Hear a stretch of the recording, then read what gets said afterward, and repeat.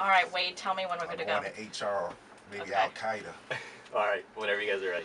So today, I thought it would be really nice to have Harvey get a special surprise guest. He has been really stressed out, overworked. The guy is getting like two hours sleep a night, which is making him kind of crabby.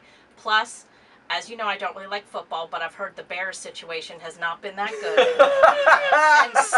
I just thought it was really, I don't know, I just thought it'd be fun for him and fun for all of us to have this surprise guest. So, mystery guest, do not say who you are. We're going to have Harvey figure out who you are. And I'm told the mystery guest has a question. So, have at it.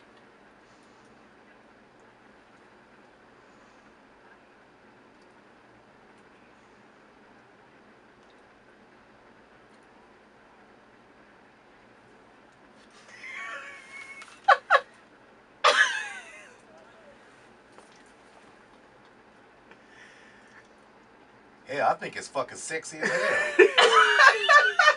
Do you recognize that voice, Harvey? He looks so puzzled right Ah.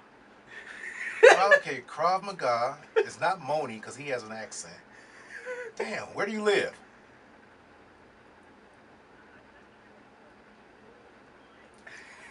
Fuck yeah! Willie!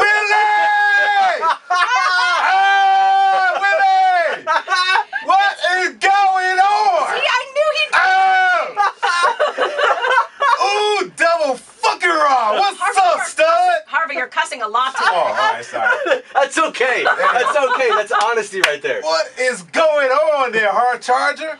Wait, Man! let's tell the world who this is. That's, yeah. Who, who is it, Harvey? This is Willie fucking Aames! Did you know you had a new middle name?